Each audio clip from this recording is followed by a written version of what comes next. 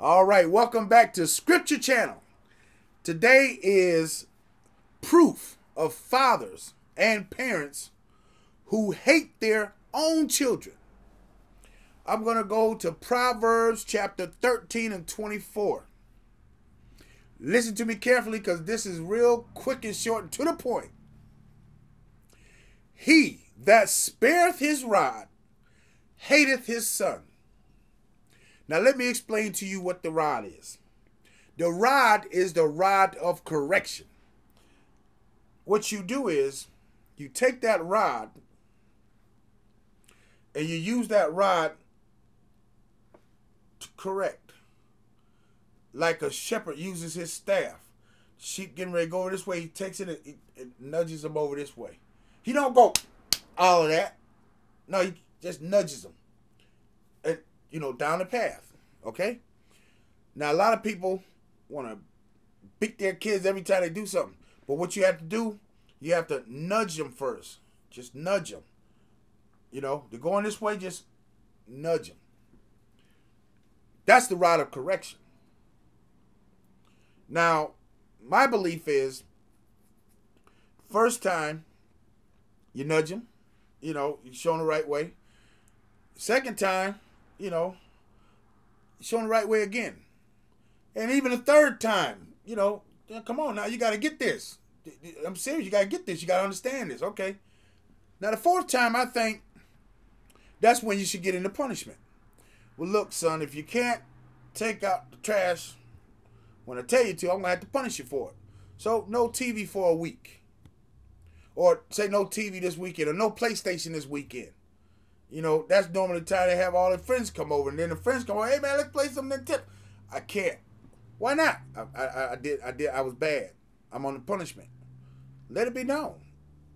Second time, you know, take it a little longer. Take it for a month. Next time, take it for like three months or whatever. You know, and they ain't learned by then. Um, yeah, I would say um, spank them a little bit. But I like the way my father did me. I remember some whippings I got. He spanked me about, what, 11, 11 hits with a belt. You know, I had to put my hands down in the chair and my butt was back there and he got the belt and hit me. One. That first time I put my hands back, he said, move your hands. You move your hand, I'm to cost you extra.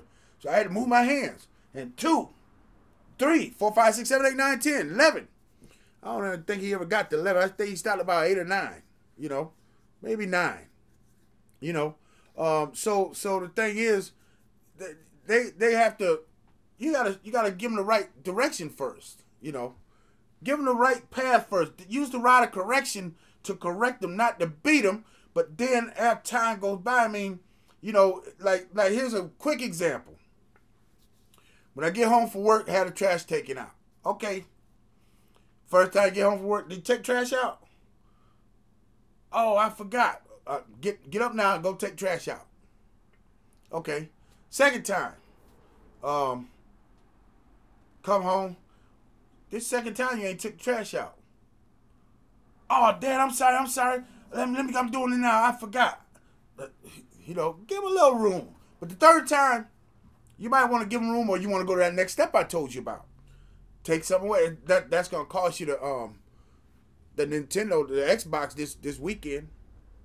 You know, and then you move up the next time. You know, make it a month or two or three months, and and so on. And if they do it again, then you know, you're gonna have to look. You got to get three, four, five licks for this because you're gonna have to do this. You're gonna do what I tell you. As long as you live up under my roof, you're gonna uh, abide by my rules, and that's it. So yeah, I'm I'm for spanking but not the first time, second, and third time. I mean, you got to, when they're little kids, you know, because you got to do this. Let me say this and then I'm done. You got to start training a child up before they're born. You're to say, how you train a child when they ain't born yet? By you getting ready for yourself. You and the father preparing yourself so you can do this. And then when that baby is born, you got them on the right path the whole time. Just keep them there. Don't let them stray off. I'm telling you now, when you let your children get around the wrong children, they're gonna catch up some habits that they want to do because they see them kids doing it, and guess what? They're gonna bring it right to your house where you don't allow it. And then when you don't allow it, they're gonna sneak around on you. That's why you gotta watch who you allow your kids to be around. Now I thank my parents for what they did to me. No child, youth, or young adult was coming to my house, and I wasn't going to their house unless my parents knew their parents. And they had to my parents had to approve of them. And there was a lot that my parents didn't approve of, and I wasn't allowed to go over there. But there were a few that I could I could go over to their house and they could come over to mine.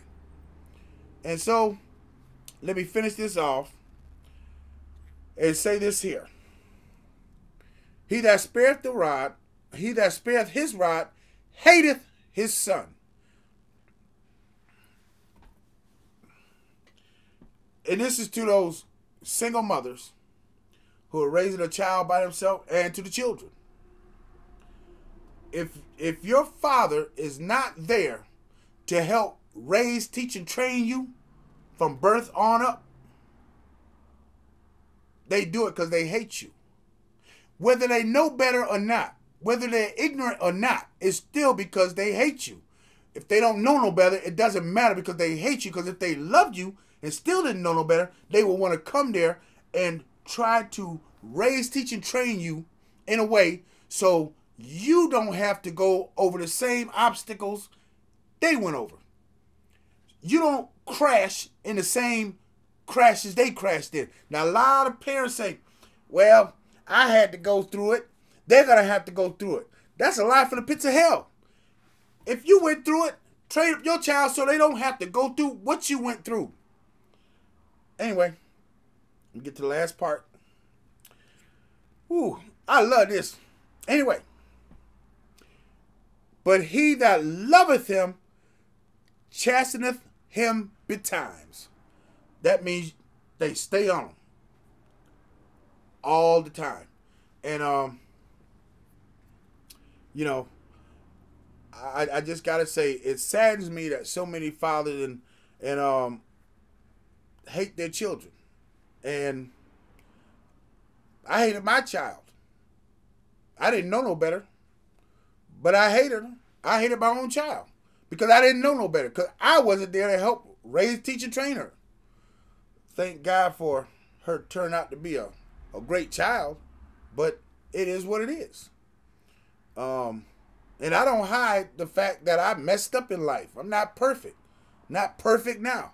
But I'm a whole lot better off than I used to be that's what I'm talking about. But anyway, now you have it. So let's get some fathers back into the lives of these children.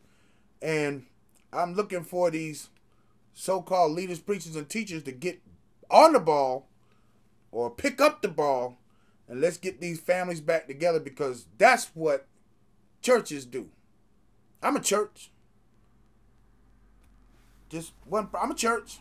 Not always talking about the building, you know, but I'm just saying, let's get back on track. Let's get these fathers back in the homes. Let's help them get jobs if they need jobs. Okay? Let's help get them some training, some skills, and trades. Okay? But anyway, until next time, be blessed. Hallelujah.